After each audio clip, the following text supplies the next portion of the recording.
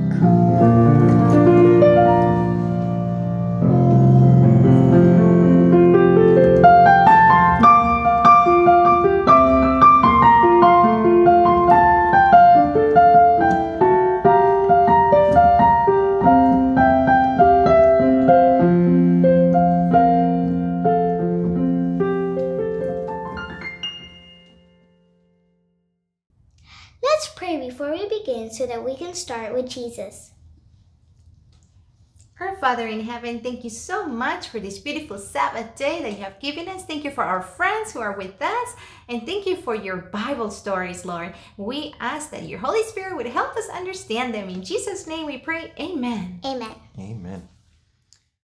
Today's Bible story is called How We Love God. Today's Bible story will teach us that because God loves us so much, He has given us His laws 10 short rules that tell us how to be happy and how to be safe from Satan. With God's help, we can obey. Today's memory verse is found in Exodus chapter 20, verse 7. You shall not take the name of the Lord your God in vain. You shall not take the name of the Lord your God in vain. You shall not take the name of the Lord your God in vain. I hope you, all friends, can do this also. Last week, we learned that God is love. He doesn't just love us, He is love. Yes. And we learned that the word love tells us what God is like and that His laws are all about how we love so that we can choose to be like Him and not like Satan. The first four commandments tell us how to love God, and the last six tell us how to love each other. When we love God with all of our hearts and we love each other, then we can't help but be truly happy. Before sin came into heaven, the angels were perfectly happy because they were automatically loving God and each other. Yes, how nice. It was just as natural as breathing. We don't have to think about breathing, No, we don't. we just do it. That's how it was with the angels. They just loved naturally. It was the same in the Garden of Eden before sin came. Adam and Eve loved God and each other naturally. They didn't even think about loving God or each other. They were perfectly happy. After sin came, everything changed. Now we don't naturally love God or each other. Instead, we are selfish like Satan. And that makes God sad because he knows how unhappy it makes us and others. Let's read what Romans chapter 8 verse 7 through 8 say. Because the carnal mind is enmity against God, for it is not subject to the law of God, nor indeed can be. So then, those who are in the flesh cannot please God. Now let's think. Is it important for us to know and understand God's Ten Commandments? Yes. Why not start memorizing them right now? He has promised to help you if you ask Him. And they're very easy. Even children can memorize them. Mhm. God's people, the children of Israel, were camped at Mount Sinai, and they were having a very important meeting. God the Father and God the Son, who is Jesus, were together on that mountain. Their glory was hidden in the thick black cloud, or it would have killed the people. God the Holy Spirit was there too, speaking to each person's mind as they watched, felt, and listened to things that were happening. It was all, all very, very solemn and important, a meeting that they must never forget. The Israelites had been with the people in Egypt for a long time, and they had gotten used to their idols. Those gods were helpless and useless. Did you know that gods, well, idols, I should say, they can't hear, Mm-hmm. see, Mm-hmm. or breathe or speak? Mm. They can't help anybody, it's just No. a statue. But it's a god, and they put a lot of decorations for the god.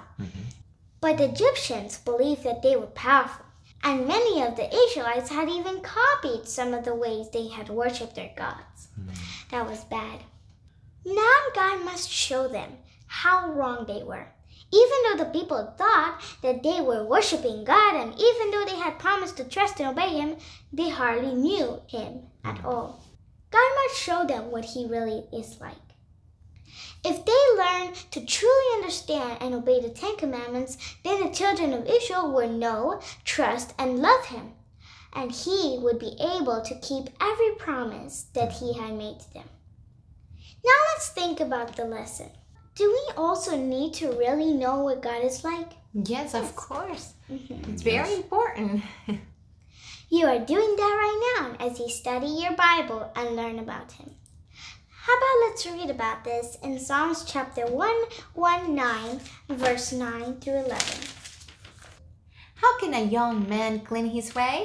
By taking heed according to your word. With my whole heart I have sought you. Oh, let me not wander from your commandments. Your word I have hidden in my heart, that I might not sin against you. Are you starting to learn the Ten Commandments and hide them in your heart? Mm-hmm. I hope we are. Even after we lived a million years in heaven, we will still keep learning more and more about God's wonderful law. Yes. There's just so much to understand about Yes. it, right? I know. But also, God made His law so easy to understand, even children can choose to obey it. As the children of Israel listened while God spoke the Ten Commandments, they were terrified. Let's read again this in Exodus chapter 20, verse 19. Then they said to Moses, You speak with us, and we will hear, but let not God speak with us, lest we die. Now let's read verse 20 again. And Moses said to the people, Do not fear, for God has come to test you, that his fear may be before you, so that you may not sin. Moses explained that God didn't want them to be afraid of him, didn't he? Mhm. It was true that he wanted them to realize how holy and powerful he is. Yes. But he also wanted them to learn to love and trust him. You know, God wanted them to be afraid of sin, not to be afraid of Him. God wants us to think of each of the commandments as a promise. And if we choose to obey them, he can keep Satan from destroying us. Mm, yes. God knows that since sin came, we can't obey by ourselves because now we naturally want to obey Satan. Mm, But Satan absolutely cannot make us obey him. And here's why. When we choose Jesus, he has promised to help us. And he will help us. He keeps his promises. He always keeps his promises. yes. His law becomes like a strong wall around us to keep us safe from Satan. Isn't that wonderful? Yes. He is our fortress. Yes, his commandments is a fortress. Let's read more about this in Corinthians chapter 10 verse 13.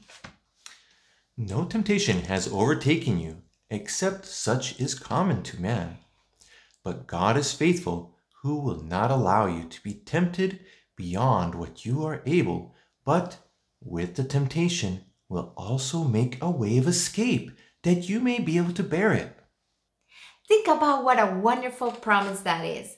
God can and will always help us, no matter how hard Satan tries to tempt us, right? Mhm.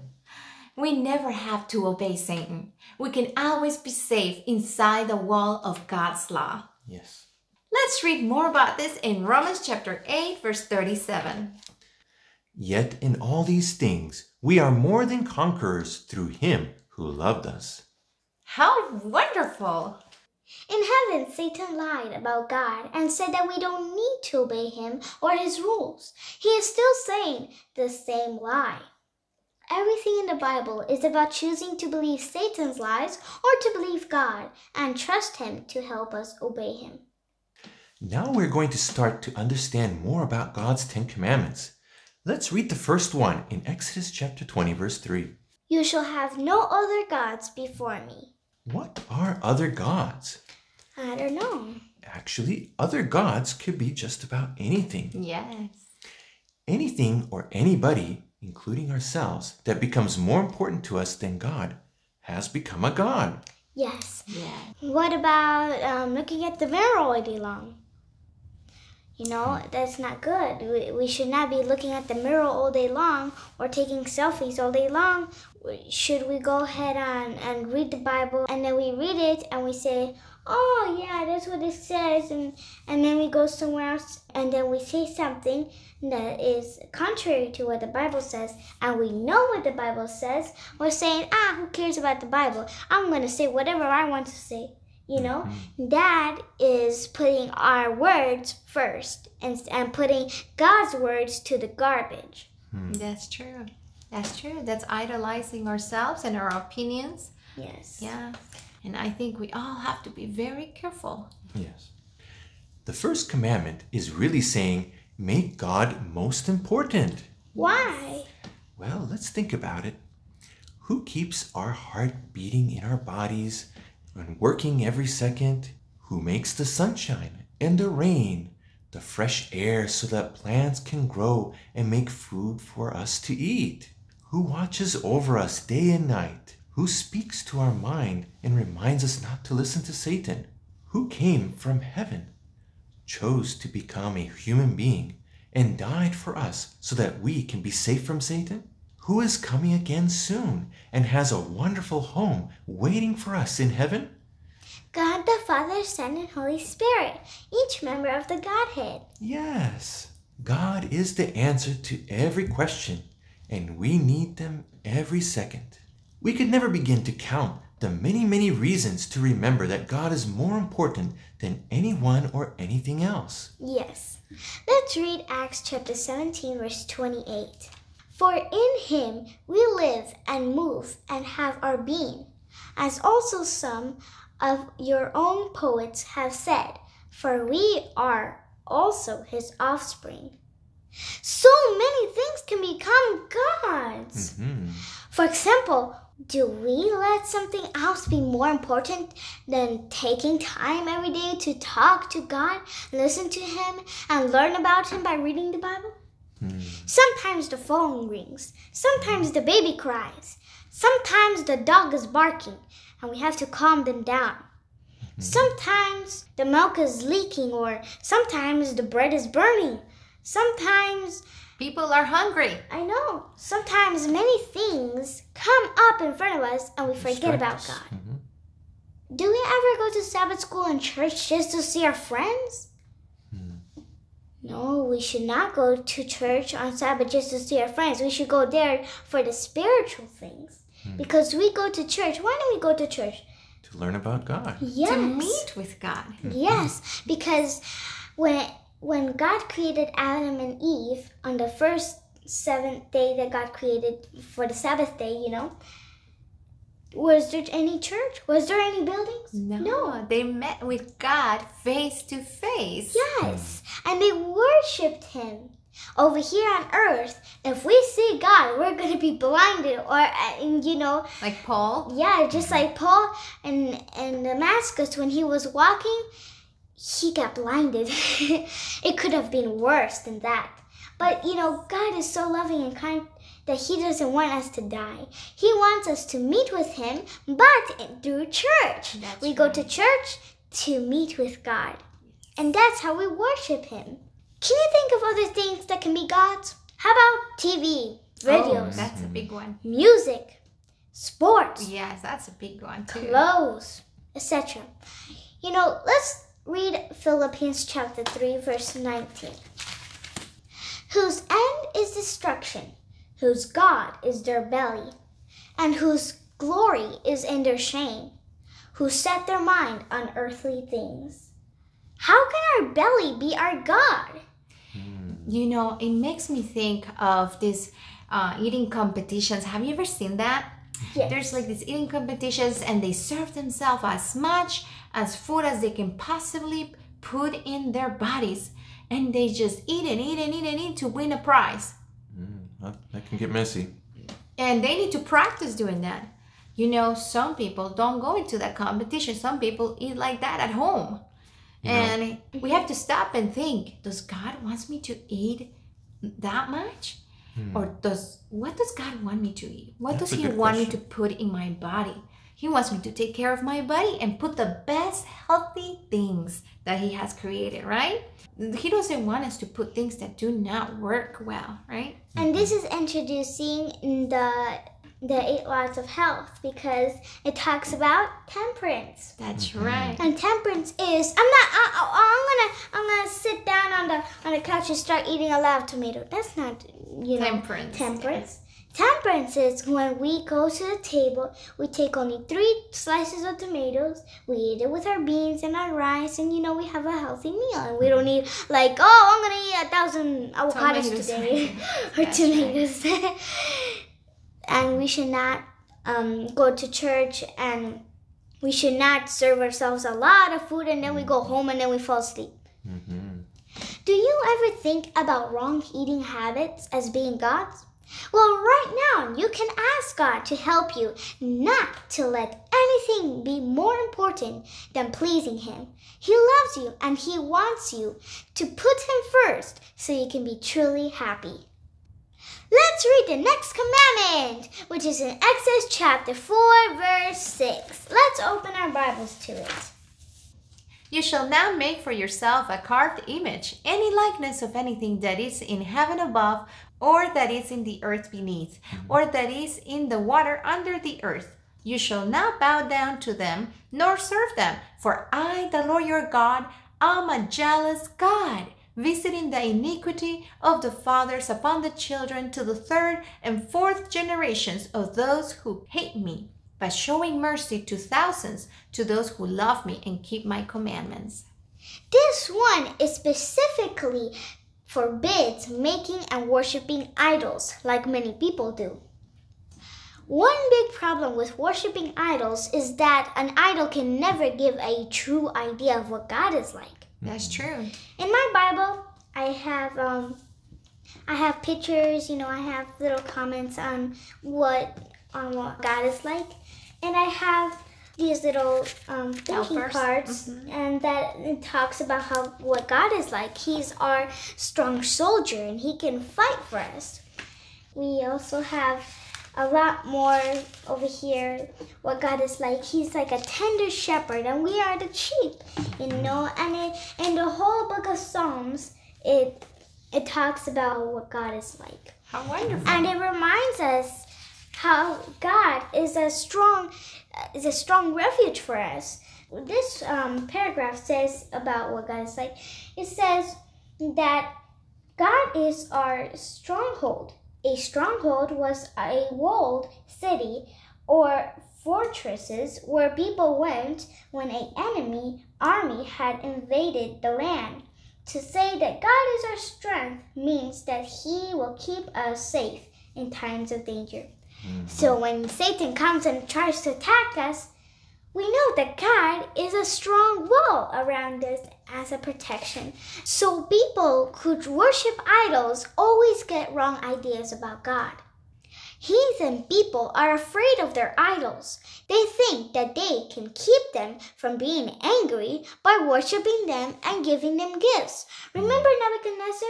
yeah. He started giving food to the idols. Yes. And that is the reason why Daniel and his three friends didn't eat the king's food and didn't sit on the same table because they knew. that the food was already presented to their idols. Yes. Hmm. Mm-hmm. And how how foolish Nebuchadnezzar was. Those idols can't even hear him, nor can they eat the food, nor can they do nothing for him. Nor can they hmm. bless the food. No, they can't do none of that stuff. But God is a living God. He will be there for eternity. Yes. And we also will be in heaven for eternity if we choose to obey Him. You know, heathen people don't know the only true God that loves them. The second commandment describes God as a jealous God. But how can God be jealous? Did you know that there are right and wrong kinds of jealousy? Mhm. God's kind of jealousy wants to protect us from anything that will hurt us. God knows that the children of idol worshippers usually copy what their parents do. Do you remember the sons of Noah who moved away because they chose to believe Satan's lies? They worshipped idols. Yes. And they soon forgot God, and so did their children. Children whose parents love, trust, and obey God usually learn to know and love Him like their parents do. When they have children of their own, they teach them to love God too. That makes God happy because He can bless them. The children of Shem chose to believe and worship God. Abraham, Isaac, and Jacob were from Shem's family. They taught their children to love and worship the only true God. But Jacob's family had been in Egypt so long, many of them were beginning to forget God. Now, God was doing all He could to help them know and trust Him again. Idols can give people wrong ideas about what God is like. But could people who don't bow down to idols still disobey the commandments by believing wrong ideas about God? Oh, yes, absolutely. Yes. People believe many things about God that aren't true. Some say there is no God. Others think he is cruel. Still others are sure he wouldn't punish sin. Mm-hmm. Only the Bible tells us the whole truth about God. Let's read now the third commandment and let's try to memorize it. Let's read in Exodus chapter 20, verse 7. You shall not take the name of the Lord your God in vain, for the Lord will not hold him guiltless who takes his name in vain. What does vain mean? Did you guys have any idea what does vain mean? well, Um, one way to say it is for nothing. So, if you work hard making a beautiful sand castle and then a wave from the ocean comes in and washes it all away, then a kid might say, or you may say, all the work for nothing. An adult may even say, all the work in vain. Yes, God asks us to use His name thoughtfully and reverently. Never use it carelessly for nothing, which means for no good reason. So the word vain also means for nothing, right? We all know that using God's name, cursing and swearing, is taking his name in vain.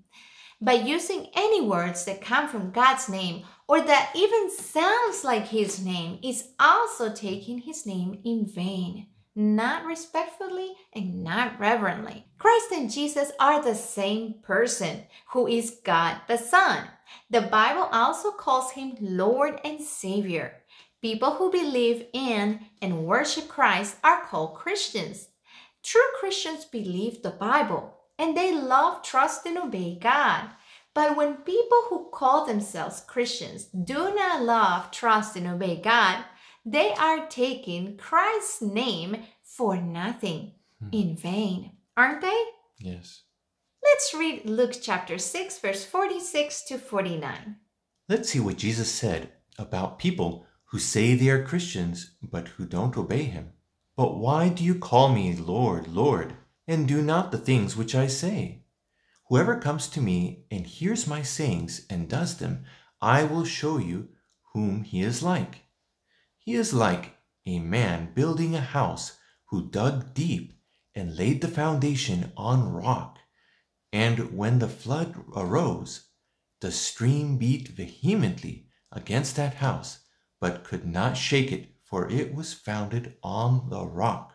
But he who heard and did nothing is like a man who built his house on the earth without a foundation, against which the streams beat vehemently, and immediately it fell, and the ruin of that house was great. They are building sandcastles, aren't they? Yes. Hmm. Is it easy to get so used to hearing wrong and foolish words that we can actually start copying them? Is this commandment more important than most people think it is? Does it help us have more love and respect for our loving, holy God? Yes. I am so glad we learned about God's love in His law. God is very strong and powerful, and He loves us so much. If we ask God to help us obey them, He will do it. Well, do you remember what time it is? It's time for our memory verse! So, let's go over our memory verse for today, which is found in Exodus chapter 20, verse 7. You shall not take the name of the Lord your God in vain. That's right. You shall not take the name of the Lord your God in vain. You shall not take the name of the Lord your God in vain. Perfect! I hope your friends, can do this also. Let's thank Jesus for his precious Bible story that taught us about his perfect law of love in the Ten Commandments. We studied the first three, and we're studying how to love God and how to honor him. Let's ask him to put it in our hearts so that we may learn to love him more and more and mm-hmm. love our neighbors as ourselves. Dear Heavenly Father, thank you for this precious story that you have given to us and help us to obey these Ten Commandments and not just to read them and learn about them, but to also use them in our lives. And help us to obey them and write them on our hearts that way we may do your will. In Jesus' name we pray. Amen. Amen. Amen. What a beautiful lesson we had today. I hope you can share this Bible story with someone this week. And may this law of love become the foundation of our lives, shaping our thoughts, words, and actions as we seek to glorify Jesus and bless others. We'll have some music next to end the program, and may you be blessed. Have a beautiful Sabbath day. Goodbye.